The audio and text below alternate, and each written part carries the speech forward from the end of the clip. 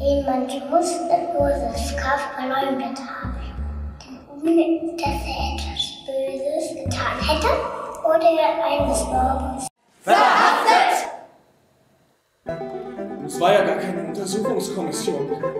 Ich nenne es nur so, weil ich keinen anderen Namen dafür weiß. Es wurde ja gar nichts untersucht. Nur verhaftet. Aber von einer Kommission.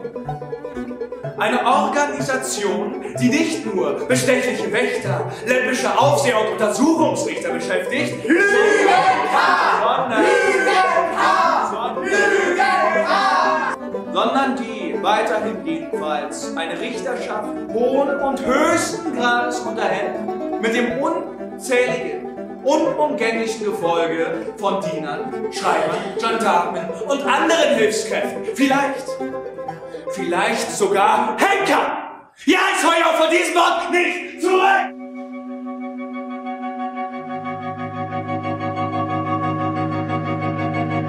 Josef, du hattest immer so ein richtiges Urteilsvermögen. Und ausgerechnet jetzt verlässt ich dich.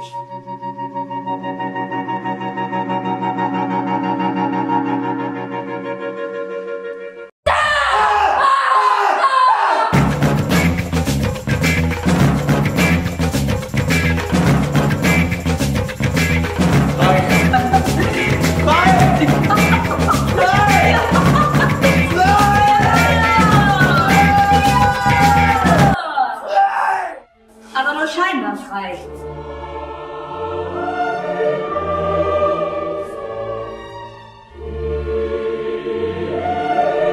Du missverstehst die Tatsache, dass das Verfahren allmählich ins Urteil übergeht.